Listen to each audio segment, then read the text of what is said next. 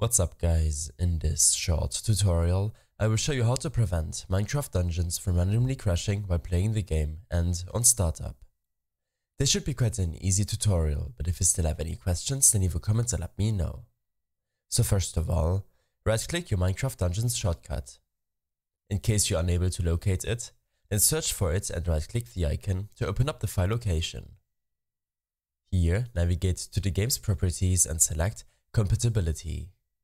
In the Compatibility tab, select to disable full screen optimizations and click on Change High DPI settings and check the Override High DPI scaling behavior checkbox. Don't forget to apply your changes. Next, search for Game Bar and hit enter to open up your Game Bar system settings. On this window, disable the recording option.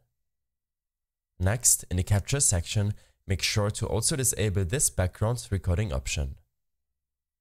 When this is done, navigate to Game Mode and then Graphics Settings. Here, set this option to Classic App and then browse for the Minecraft Dungeons application from your file. Go to the drive on which you saved the game on and in your program files you should be able to locate the Minecraft Dungeons launcher. This will enable you to change the graphics performance preference for Minecraft Dungeons to high performance.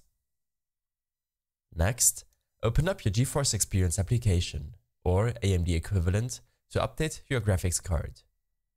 Depending on how frequent you're updating your GPU, this tweak can make the biggest difference.